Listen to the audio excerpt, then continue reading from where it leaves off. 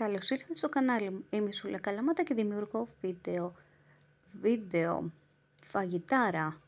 Μας έχει μείνει από χθες φασολάκια, λαβερά, με πατατούλα και κολοκύθι. Τι κάνουμε; Κάτι διαφορετικό. Δεν μπορούμε να τρώμε συνέχεια το ίδιο πιάτο, να βλέπουμε μπροστά μας. Οπότε το περνάμε στο blender, το κάνουμε χυλό, πουρέ και θα χρειαστούμε άλλα δύο υλικά, φρυγανιά και τυρί προσθέτουμε τη φρυγανιά στο μείγμα μας, στο πουρέ μας, το ανακατεύουμε.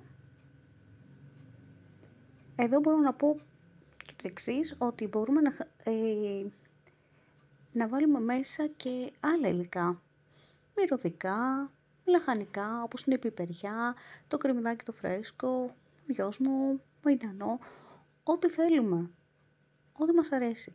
Εγώ θα βάλω μόνο φρυγανιά και τυρί που θα το θρηματίσω. Τόσο απλά, μα τόσο απλά, θα έχουμε κροκέτες διαφορετικές. Ε, θα καταλαβαίνουμε λίγο την πατάτα ίσως στη γεύση. Και είναι πολλές οι προτάσεις πώς μπορούμε να το σερβίρουμε στο τέλος, αλλά το αφήνω και για σας αυτό. Να το σκεφτείτε εσείς με ό,τι σας αρέσει. Εγώ πάντως θα το σερβίρω με γιαούρτι, αν και πάει και πολύ και με μαγιονέζα. Αυτή η συνταγή γενικά είναι τι αρέσει τον καθένα. Κάποιος μπορεί να το φάει και με κέτσαπ. Με ό,τι μπορούμε να σερβίρουμε μία κροκέτα πατάτας. Λοιπόν, εγώ δεν θέλω να την κάνω πολύ σφιχτή τη, τη ζύμη μου, αλλά θα βάλω λίγη φρυγανιά ακόμα. Λοιπόν, και αφού είναι έτοιμο, με το κουταλάκι μου θα πάρω μια ποσότητα και θα το περνάω από τη φρυγανιά γύρω γύρω να καλυφθεί όλο το μείγμα.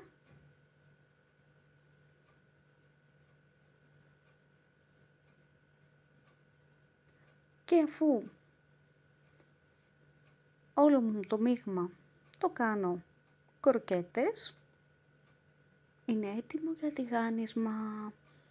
Έχει ζεστάνει το λάδι και ρίχνω μέσα τις κροκέτες μου.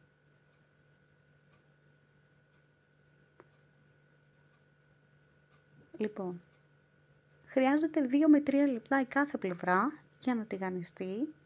Είναι πανεύκολη συνταγή, πραγματικά ε, με οτιδήποτε φαγητό που έχει μέσα πατάτα νομίζω ότι μπορείτε να το φτιάξετε.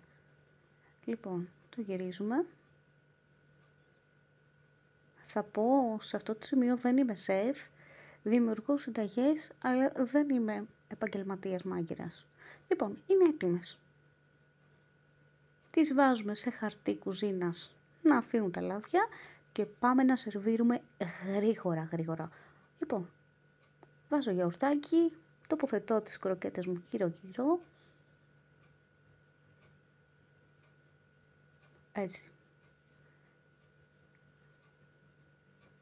Μ' αρέσει πολύ το καρότο. Επίσης μπορεί να βάλετε και ακουράκι και σκόρδο στο γιαούρτι, ό,τι αρέσει το καθένα. Λοιπόν, εγώ θα προσθέσω λίγο μαϊντανό,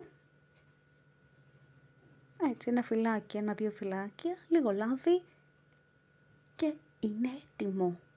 Τόσο απλά, μα τόσο απλά. Ε, λίγο κουρμέτο, ε. Πιο φασολάκι λαδερό, καμία σχέση.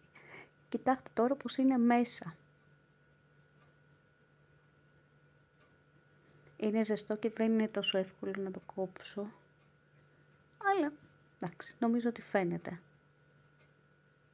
Φαίνεται το αποτέλεσμα. Δοκιμάστε το. Δεν έχω να πω τίποτα άλλο. Δοκιμάστε το. Ελπίζω να σας άρεσε και να σας έδωσα νέες ιδέες. Τα λέμε σε επόμενο βίντεο.